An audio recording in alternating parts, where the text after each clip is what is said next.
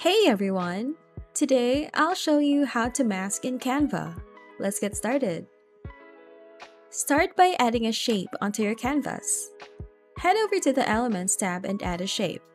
For this example, let's go with a square. In the toolbar, change its color to black. You can make it bigger but don't expand it too much so that the background color is still white. Next, add your image that will serve as the shape of your mask. Position it inside the shape. Then go to Edit Image and choose Background Remover.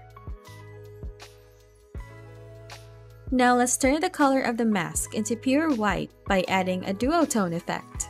In the Effects section, click on Duotone. Select any preset, then adjust the colors. Set the highlights and shadows to white. Now download this page and upload it back into Canva.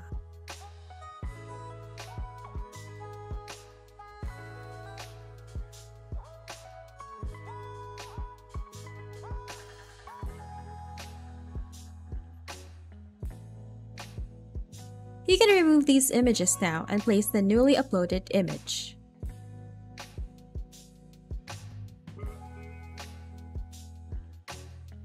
With the new image selected, go to Edit Image and choose Background Remover. This removes the whites in this image, making the white areas transparent.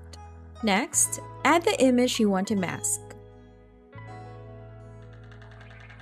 Resize and position it behind the other image by right-clicking on it and selecting Send to Back in the Layer menu. Resize and reposition as needed. Download this image.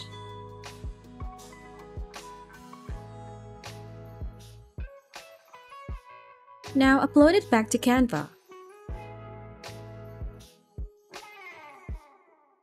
You can now delete these for the final image. Add the uploaded image. Then click on Edit Image in the toolbar again and select Background Remover. And there you have it, beautifully masked image in Canva. If you found this video useful, please show your support with a like. Your feedback is invaluable to us, so feel free to share your thoughts and suggestions in the comments section below. We're eager to hear from you.